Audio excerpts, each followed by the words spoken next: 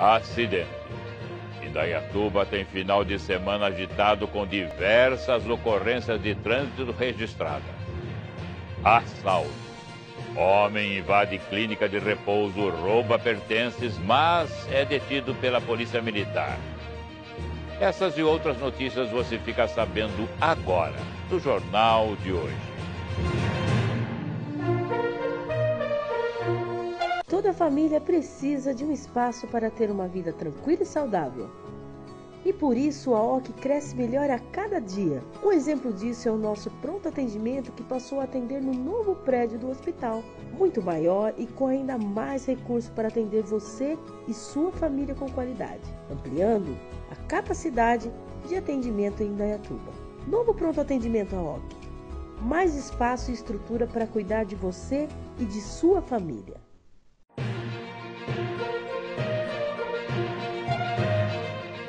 Olá, sejam todos muito bem-vindos a mais um Jornal da TV Sol.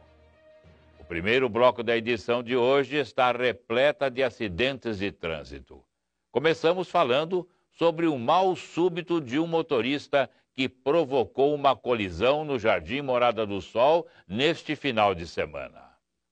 O serviço de emergência, em conjunto com pedestres, socorreram um homem que sofreu de um mal súbito enquanto dirigia e bateu o carro no Jardim Morada do Sol na tarde deste domingo. A vítima estava desacordada e trancada dentro do veículo que permaneceu ligado e com os vidros fechados após colidir contra o portão de uma casa. Quando o homem acordou, ainda estava desorientado e não conseguia seguir as orientações da equipe de resgate. Foi preciso que populares que estavam próximos ajudassem no socorro. Eles quebraram um dos vidros do automóvel para acessar o interior, desligar o motor e destravar as portas do veículo. A vítima foi retirada do carro e encaminhada para atendimento médico na UPA. A Guarda Civil foi chamada e fez o atendimento da ocorrência. Mas o motorista passou mal enquanto dirigia e também bateu o carro, mas desta vez num poste de iluminação no distrito. O motorista passou mal e colidiu o carro que dirigia contra um poste de iluminação. A colisão aconteceu na noite deste sábado no distrito Europarque Comercial, em Indaiatuba. O condutor do carro trafegava pela avenida Rost Frederico John Hare quando se sentiu mal e perdeu o controle da direção, colidindo com um poste. Com o impacto, a frente do veículo ficou bastante danificada. O resgate foi chamado até o local do acidente, mas, quando chegou, a vítima estava consciente e se recusou o atendimento médico. A empresa de energia elétrica também foi mobilizada para fazer a substituição da estrutura já que havia risco de queda. Veja como a semana começou para os candidatos das, às eleições à presidência da República. Nesta segunda-feira, o candidato Lula ficou em São Paulo para entrevistas e participação no lançamento de um livro sobre seus oito anos de governo. Bolsonaro só teve na agenda uma entrevista à TV Globo. Ciro Gomes também cumpriu agenda na capital paulista. Felipe Dávila participou de evento em uma entidade que cuida de crianças e Léo Péricles concedeu uma entrevista. Vamos fazer uma pausa rápida, mas após o intervalo voltaremos com mais notícias. Aguarde só um instante.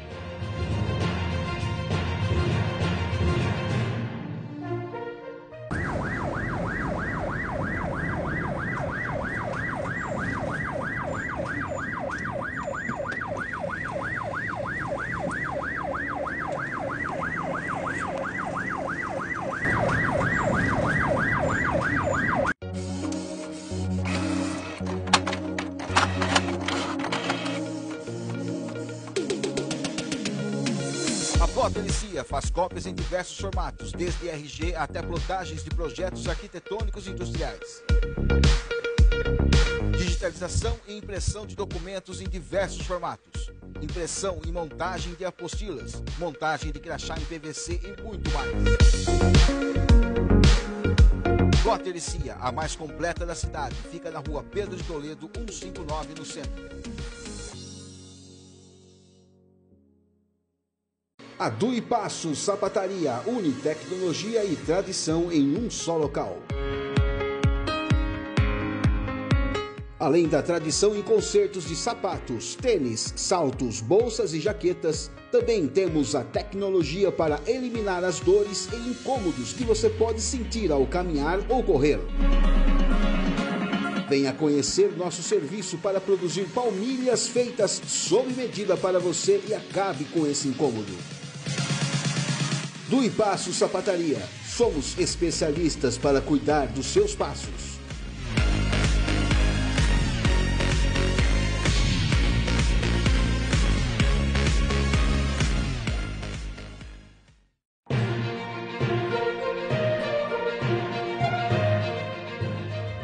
Estamos de volta com o Jornal da TV Sol. A polícia militar prendeu um homem que invadiu uma casa de repouso e roubou idosos e funcionários. Uma clínica para idosos em Dayatuba foi invadida por um bandido na madrugada de domingo. Conforme a polícia militar, o assaltante entrou na casa de repouso por volta das cinco e meia da manhã, muito agressivo e simulando estar armado. Ele roubou diversos pertences dos idosos e das cuidadoras que estavam no local. Uma das funcionárias ligou para a PM, que rapidamente foi até o local, pegaram a descrição física do assaltante e iniciaram buscas na região. Durante a ronda, uma viatura conseguiu localizar e prender o suspeito.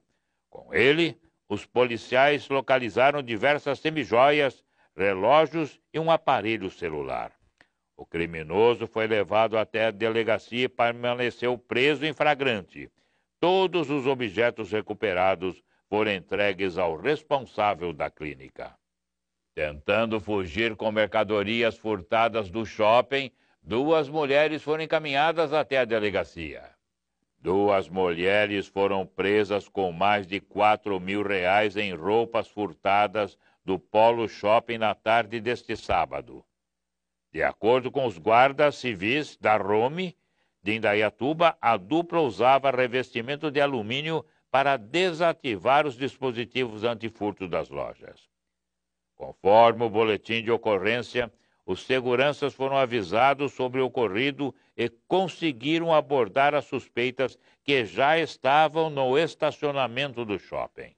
Com elas, foram encontradas várias sacolas com diversas peças de roupas e cerca de 320 reais. Um veículo que dava cobertura dupla foi encontrado pela Guarda Civil, estacionado em uma rua nas imediações do shopping. O terceiro envolvido, que esperava as mulheres, conseguiu fugir. Acusadas foram apresentadas na delegacia e presas em flagrante. As roupas foram recuperadas e devolvidas para um representante da loja. O veículo utilizado no crime foi apreendido. A NASA segue com os estudos de planetas e divulgou novas imagens do gigante do sistema solar, Júpiter. Nesta segunda-feira, a NASA divulgou imagens de Júpiter capturadas pelo telescópio James Webb. É possível observar nas novas imagens a grande mancha vermelha que aparece com um grande ponto branco circular no canto inferior direito. Também é possível ver algumas das luas do planeta e os seus anéis. Essa mancha branca, diz a NASA, é uma tempestade grande o suficiente para engolir a Terra que aparece em branco, mesmo chamando-se vermelha, por refletir a luz do Sol. As novas imagens surpreenderam cientistas pelas suas nitidez. Veja depois do intervalo a previsão do tempo.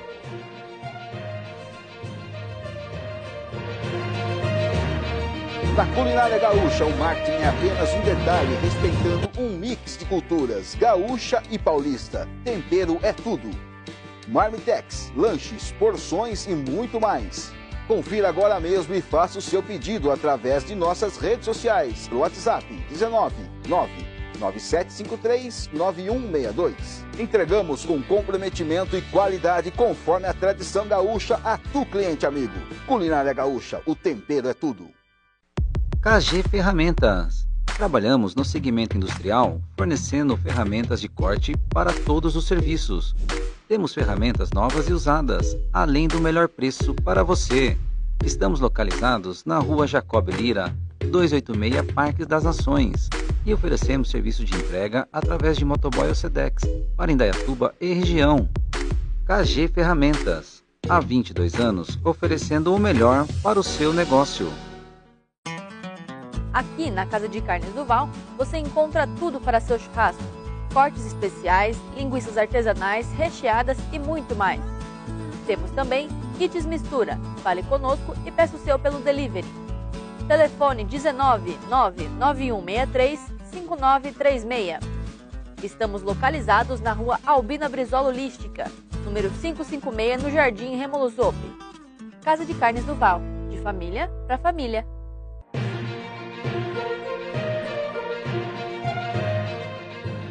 Agora, no último bloco do Jornal da TV Sol, motorista perde o controle de carro e cai em valeta da rodovia. O condutor de um veículo perdeu o controle do mesmo e caiu em uma valeta pluvial às margens da rodovia Santos Dumont, na altura do quilômetro 58, em Indaiatuba. O acidente aconteceu na noite da última sexta-feira. O condutor alegou que, ao acessar a alça para a rodovia, perdeu o controle da direção do veículo e tombou sobre a canaleta de captação de águas pluviais. A passageira que estava com ele sofreu ferimentos leves e foi socorrida pelo resgate do Corpo de Bombeiros para o Hospital Santa Inês. O veículo ficou pouco danificado e foi removido pela concessionária que administra a via, sendo liberado ao proprietário com o guincho. A Polícia Rodoviária Estadual esteve no local e fez o atendimento do ocorrido, mas não houve interdição da pista. Uma batida traseira deixou um homem ferido na rodovia Santos Dumont. Por volta das quatro e meia da tarde da última sexta-feira, a Polícia Militar Rodoviária Estadual atendeu a uma ocorrência de acidente de trânsito com vítima ocorrido na rodovia Santos Dumont, altura do quilômetro 53, no município de Indaiatuba.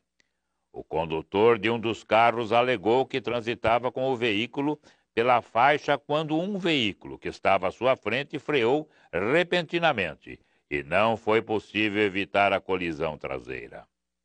Já o condutor que foi atingido relatou que seguia com o veículo na mesma faixa sentido salto quando o automóvel à sua frente reduziu drasticamente a velocidade e freou, ocasionando o acidente. O motorista do carro atingido na traseira precisou de atendimento médico e foi encaminhado pelo resgate até a unidade de pronto atendimento. Os dois automóveis danificados foram retirados do local pelo guincho da concessionária. Veja como será o tempo em Dayatuba nesta terça-feira. Depois de um final de semana de frio, Indaiatuba começa esta semana com temperaturas um pouco mais altas.